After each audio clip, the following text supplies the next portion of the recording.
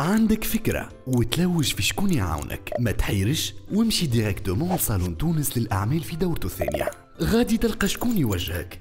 يحلك البيبان ويتبعك. من خلال خمسة ندوات موجهة على طول ثلاثة أيام. تتعلم فيهم كيفاش تخطط. تتصرف وتعبر على فكرة مشروعك. وتخلق الشركة متاعك. انتي نحنا هما وانتوما الكل.